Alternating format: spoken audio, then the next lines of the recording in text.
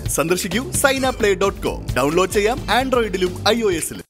ഏതോ ഒരു പുഴയുണ്ടല്ലോ. ഭാരതപ്പുഴ. ഈ രമണനൊക്കെ എഴുതിയ ഒരു ചങ്ങമ്പുഴ.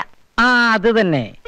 അയാളുടെ കവിത കാണാതെ പഠിച്ച് പ്രേമഗീതം പാടി വെറുതെ ഇരിക്കുന്ന കുയിലിന്റെയും പട്ടിയുടെയും ഒക്കെ മുഖത്തു നോക്കി നിന്റെ കണ്ണുകളിൽ വിഷാദം തളം കെട്ടി നിൽക്കുന്നു എന്നും പറഞ്ഞ് ഒരു റൊമാന്റിക് മൂഡ് സൃഷ്ടിക്കാൻ എന്നെ കൊണ്ട് പറ്റൂല.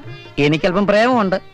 സൗകര്യമുണ്ട് വിവാഹം കഴിച്ചാൽ കൊള്ളാവുന്നുണ്ട് ആ മല്ലിക എന്ത് പറയുന്നു? ഹരി എന്തായി പറയുന്നത്? എനിക്ക് ആഗ്രഹമില്ലാഞ്ഞിട്ടാണോ? അച്ഛനോട് ഇതൊന്ന് സൗകര്യമായിട്ട് അവതരിപ്പിക്കണ്ടേ? പിന്നെ അച്ഛൻ എതിർക്കാൻ വഴിയില്ല. അച്ഛനേക്കാൾ വളരെ വലിയൊരു പണക്കാരന്റെ മകനാണ് ഹരി എന്നറിയുമ്പോൾ അച്ഛൻ കണ്ണും പൊട്ടി സമ്മതിക്കും. എന്നാ പിന്നെ അത് വേഗം അങ്ങോട്ടായിക്കൂടെ? ശരി രണ്ടു ദിവസത്തിനകം ഞാൻ പ്രശ്നം അച്ഛനോട് അവതരിപ്പിക്കാം. ഹരി വന്ന് കാണാനും പറയാം. ഹരിയുടെ അച്ഛന്റെ പേരെന്താ പറഞ്ഞത്? രാമുണ്ണി മേനോൻ അല്ലേ പുത്തൻപുരയിൽ രാമുണ്ണി മേനോൻ ഛെ, അല്ല മകൻ ഹരികൃഷ്ണൻ. അല്ല ഇതാര് പാപ്പാചാന പോസ് കണ്ടപ്പം വിചാരിച്ചല്ലോ കൊട്ടാരത്തിലായിരിക്കും താമസം. ഇപ്പോഴല്ലേ മനസ്സിലായത് പെരുവഴിയാന്ന്. ആ നീങ്ങി വാ. ഇവിടെ ഇരിക്ക്. ഒരു കാര്യം ചോദിക്കട്ടെ? എന്തുവാ? എനിക്കൊരു ഉപകാരം ചെയ്യാമോ? എനിക്ക് ഇവിടെ എവിടെയെങ്കിലും താമസിക്കാൻ ഒരു മുറി ഒപ്പിച്ചു തരാമോ? കമ്മീഷൻ തരാ? തരാ. എന്നാ ഒരു വീടുണ്ട്. പക്ഷെ ഒരു കുഴപ്പം. എന്ന് വെച്ചാ? ഭാര്യയുണ്ടോ? ഭാര്യയും കീരിയൊന്നുമില്ല. ഞാൻ ഒറ്റ തടിയാ. എവന്റെ അടുത്ത് വീട് ചോദിക്കുമ്പോ എന്നെ തലണം എന്നാ ഒരു ഭാര്യ ഒപ്പിക്കാമോ? എന്ന് വെച്ചാ? ഒരു വീടുണ്ട്. പക്ഷെ ഉടമസ്ഥ താമസിക്കാം. രണ്ട് മുറി വാടക ഒന്ന് ഞാൻ എടുത്തോളാം അതിന് ചുപ്പറം പെട്ട് സമ്മതിക്കണ്ടേ? അയാൾ ഫാമിലിക്ക് കൊടുക്കൂ. ചുമ്മാ കണാ പിണ പറയാതെ കാര്യം വലിയ നടക്കുമെങ്കിൽ പറ. അതാ പറഞ്ഞൊരു ഭാര്യ ഒപ്പിക്കണമെന്ന്. നമ്മളെ കൈയുണ്ട് പാർട്ടിക്ക് ഒരു മുറി വേണം. നിങ്ങൾ തമ്മിൽ ഭാര്യ ഭർത്താവെന്ന് പറഞ്ഞു വരാമെങ്കിൽ ഞാൻ സംഗതി ഒതുക്കി കൈ തരാം. ഒരല്പം അഭിനയിച്ചാ മതി. രണ്ടുപേർക്കും സുഖമായിട്ട് താമസിക്കാം. പാടക പകുതി പകുതി. മറ്റേ പാർട്ടി സമ്മതിക്കുമോ? അത് ഞാൻ ഏറ്റു. ദേ ഇതേ അവസ്ഥാനമായിട്ട് ചോദിക്ക. എനിക്ക് എന്തെങ്കിലും ബിസിനസ് തുടങ്ങാൻ കുറച്ച് കാശ് തരണം. നീ ഇത്രയും കാലം ചോദിച്ചിട്ടും ഒന്നും തന്നില്ല എന്ന് വേണ്ട. ദേ രണ്ട് രൂപയുണ്ട്. എന്ത് ബിസിനസ് വേണമെങ്കിൽ ചെയ്തു. അച്ഛൻ എന്താ എന്നെ കളിയാക്കാണോ? നീ എന്താ എന്നെ മിരട്ടിയാണോ? നിനക്ക് ബിസിനസ് ചെയ്ത് മുടിക്കാൻ ഇവിടെ പണമൊന്നും ഇരിപ്പില്ല. അമ്മ ഇതൊന്നും കേൾക്കുന്നില്ലേ? കേട്ടിട്ടെന്താ? എന്റെ കയ്യിലാണോ കാശിരിക്കുന്നത്? ഇന്നലെ തെക്കേ പറമ്പ് വിറ്റ് ഒന്നര ലക്ഷം രൂപ എടുത്ത് അലമാരി വെച്ച് പൂട്ടിയിട്ടുണ്ട്. എനിക്കൊരു കാഞ്ചീപുരം പട്ടുവേണമെന്ന് പറഞ്ഞിട്ട് ഒരു അനക്കവും ഇല്ല. കാഞ്ചീപുരം പട്ട്. നീ കാഞ്ചീപുരം പട്ട് കൊടുത്തോണ്ടാണല്ലോ ഇങ്ങോട്ട് കയറി വന്നത്. ഇനി ഒരു മൈക്ക് കൂടെ വാങ്ങിച്ചു തരാം. നാട് മുഴുവൻ വിളിച്ചു പോവ്. ഇവിടെ ഒന്നര ലക്ഷം രൂപ ഇരിപ്പുണ്ടെന്ന്. അപ്പൊ ഇവിടെ കാശ് ഇരിപ്പുണ്ടല്ലേ ആ ഉണ്ട്. എനിക്ക് അമ്പതിനായിരം രൂപ ഉടനെ കിട്ടിയേ പറ്റൂ. ഇപ്പൊ സൗകര്യപ്പെടില്ല പിന്നെ ഞാൻ എന്തോ ചെയ്യും? എനിക്ക് ജീവിക്കണ്ടേ? നിന്നെ പഠിപ്പിച്ചതേ ഒരു നഷ്ടക്കച്ചവടം. ഇനി ഈ വീട്ടിൽ നിന്ന് ഒരു ചില്ലി കാശ് നിനക്ക് വേണ്ടി ചെലവാക്കാനില്ല. നീ വേണമെങ്കിൽ പോയി മോട്ടിച്ചോ ഞാൻ കേസ് പറഞ്ഞോളാം. അഡ്വക്കേറ്റ് ശങ്കുപിള്ളയ്ക്ക് കേസ് പറയാനേ സ്റ്റാമ്പിന്റെ ചെലവേ ഉള്ളൂ. അപ്പൊ എനിക്ക് കാശ് തരൂല അല്ലേ? നിനക്ക് എന്തിനാടാ ഈ ബിസിനസ്? മൂന്ന് നേരം ആഹാരം കഴിച്ച് കിടന്നാ പോരെ? അതിനെ വേറെ ആളെ നോക്കണം. ഇന്ന് മുതൽ ഈ വീടും ഞാനുമായിട്ട് യാതൊരു ബന്ധവുമില്ല. യാതൊരു ബന്ധവുമില്ല. അങ്ങനെയെങ്കിൽ അങ്ങനെ കാശ് എന്നുള്ള ബന്ധമൊന്നും വേണ്ട. Then good bye good bye ആ. എടാ നിന്റെ അച്ഛൻ വക്കീൽ പണി നിർത്തിന്ന് കേട്ടല്ലോ. നേരാണോ? നേരാ. ഇപ്പൊ ലീഗൽ അഡ്വൈസറാ ആരുടെ? പുത്തംപുരയിൽ രാമുണ്ണി മേനോന്ന് കേട്ടിട്ടുണ്ടോ? കൊള്ളാം. കേട്ടിട്ടുണ്ടോ ഈ സിറ്റിയിലുള്ള പകുതിയിലധികവും ഫാക്ടറികൾ അവരുടെ ഇല്ലയോ? Revathi tiles Revathi biscuits Revathi financiers കുറെ രേവതികളുണ്ട്. ആരാ രേവതി?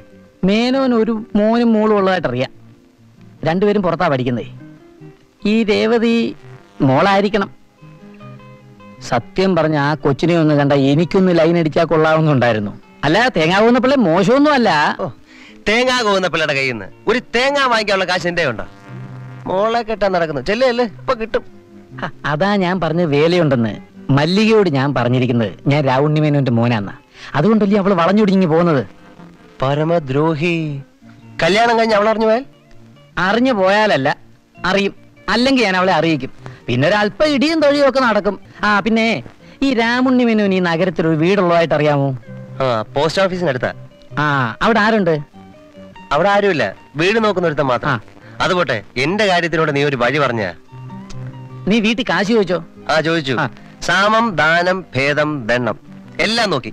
കേളവൻ ഒരു അനക്കമില്ല അല്ല നീ ഇപ്പൊ എന്തോ ചെയ്യണമെന്നാ മൂപ്പിൽസ് പറയുന്നത്? മോഷ്ടിക്കാൻ. കൊള്ളാം. നീ അത് ചെയ്താ മതി. ഇക്കാലത്ത് അന്തസ്സുള്ള ഏക ഒരേ ഒരു ജോലിയാണ് മൂലധനവും വേണ്ട. എവിടെ പോയി കിടക്കുവായി ഈ പാട്ട് കൊണ്ടാരോ നമുക്ക് പോവാൻ ചുക്കു. എന്ന് പറഞ്ഞാ ഭർത്താവില്ല അങ്ങോട്ട് എന്നാ ചുപ്രം വിട്ട് ഓട്ടിക്കും. ഇയാൾ എവിടെ പോയിരിക്കോ വല്ല കടത്തിനാലും ചുണ്ട് കിടക്കുമായിരിക്കും എനിക്ക് വരുന്ന ഓരോ ഗതിയേട് നോക്ക്. ഇനി നാലെടുത്ത് പാൽ കൊടുക്കേണ്ടതാ. നാല് കാശ് കമ്മീഷൻ കിട്ടുമല്ലോ എന്ന് കരുതി ഏറ്റതാ.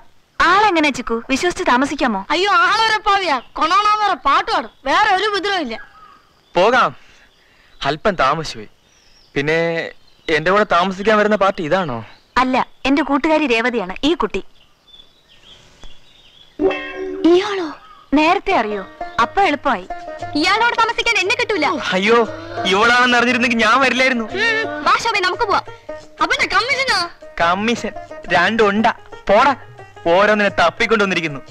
മനുഷ്യവർഗത്തിൽപ്പെട്ടാണെങ്കിൽ കൂടെ താമസിക്കാം. ഇതൊക്കെ കാലമ്പ കേസുകളല്ലേ? ഓ വലിയ ഐ എസ് ആഫീസർ അല്ലേ? ഇതിനൊക്കെ കടത്തിനെ പറഞ്ഞിട്ടുള്ളൂ. ഭാഷാബേ അപ്പൊ ഞാൻ പോവാട്ടോ വയ്ക്കോ. അപ്പൊ ഞാൻ പോട്ടാ. ആ വയ്ക്കോ. നില്ല് നില്ല്. പോവാൻ വരട്ടെ. നീ എങ്ങോട്ടാ? നാളെ എന്റെ റൂംമേറ്റ് വരും. പിന്നെ ഒന്നുകിൽ ഞാൻ പുറത്തു നിൽക്കണം ഇല്ലെങ്കിൽ നീ പുറത്തു നിൽക്കണം. അതിലും ഭേദം തൽക്കാലം എവിടെയെങ്കിലും ഒരു മുറി കിട്ടുന്നതാണ്. വേറൊന്ന് കിട്ടുമ്പോൾ മാറാം. ആലോചിക്കാൻ ഒന്നുമില്ല സമ്മതിച്ചേരെ. ശരി. ഞാനില്ല. പോ. രാത്രി എവിടെയെങ്കിലും ചുരുവിടും വല്ലവനെ വിളിച്ചോണ്ട് ചപ്പാത്തി പുരവാക്കും. ഒരു മുറി കിട്ടാൻ വേറെ വഴിയൊന്നും ഇല്ലേ ചെറുക്ക. ഒരു വഴിയുണ്ട്. ഏതെങ്കിലും കടവത്തി പൊളിച്ചാൽ മതി. പോലീസ് പിടിച്ച് ആത്താക്കും ലോക്കപ്പിലാണേലും എന്താ? കിടക്കാൻ ഒരു മുറിയും സർക്കാർ ഗോതമ്പുണ്ടായില്ലേ ചെല്ല് എനിക്ക് കളിച്ചോണ്ടിരിക്കാൻ നേരം രാശം വരുന്നേ വാ. ഇതൊരു തല്ലിപ്പൊളി ഇടപാടായി ഞാനും വരാം. ഓ സമ്മതിച്ചല്ലേ? പോകുന്നതിന് മുമ്പ് ഒരു ചടമുണ്ട് ഭാര്യ ഭർത്താവ് പറഞ്ഞ് വെറുതെ എന്നല്ലേ ചുപ്രം ചവിട്ടി പുറത്താക്കും. കഴുത്തിലൊരു താലി വേണ്ടേ? ഇതങ്ങോട്ട് കെട്ടിക്കൂടെ? പിന്നെ പൊളിക്കും. തിന്നല്ല പറഞ്ഞത് കെട്ട കണ്ട ആ പൂപ്പേന്ന് എന്റെ കഴുത്തിൽ താലി കെട്ടണ്ട. ഓ വരും. ജയ്പൂർ രാജകുമാരൻ. ചുന്ദരി കോതയല്ലേ? കണ്ടച്ചാലും മതി. തുടങ്ങി നിർത്തോ. ഇങ്ങനെ ഞാൻ കെട്ടിക്കൊടുക്കാം. പോടാ മോനെ ചില്ലറ മോഹമൊന്നും അല്ലല്ലോ. ഇങ്ങിതാ. കമ്മീഷന്റെ കാര്യം ഓർത്തിട്ടാ. ഇല്ലെങ്കിൽ എല്ലാം ഇട്ടറിഞ്ഞിട്ട് പോയനെ. കൊള്ളാം. അല്ലേടി? ആ എനിക്കിഷ്ടപ്പെട്ടു. എനിക്കും. കല്യാണം കഴിഞ്ഞിട്ട് എത്ര നാളായി? ഇപ്പൊ കഴിഞ്ഞേ അല്ല കുറച്ചു നാളെ ആയുള്ളൂ അതെ അതെ. അതും എനിക്കിഷ്ടപ്പെട്ടു.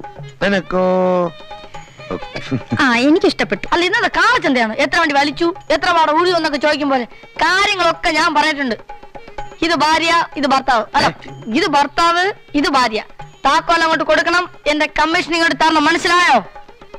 ആ മനസ്സിലായി വരുന്നു. അഡ്വാൻസ് ആ എന്തായാലും ഉണ്ട്. ആ എന്നാ നിങ്ങൾ പോയി അങ്ങ് താമസം ആരംഭിച്ചോളി കൗസല്ലേ നീ പോയി ആ മുറിയൊക്കെ ഒന്ന് കാണിച്ചോളൂ. ചെല്ലേ. വന്നാട്ടെ. ഇവിടെ അഞ്ചു മാസം ആടെ അഡ്വാൻസ് എന്റെ കമ്മീഷൻ അത് അടുത്ത മാസത്തെ പാലിന്റെ കാശ് വരുമ്പോ കൂടെ തരാം? പിന്നെ ഈ നാലാൾ കൂടുമ്പോൾ നിന്റെ ഈ ഷൈനിങ് ഉണ്ടല്ലോ. അത് ഈ ചുപ്പറുണ്ടത് വേണ്ട? ആകപ്പെടെ പൊടിടപ്പീട് അത്ര ഉള്ളൂ.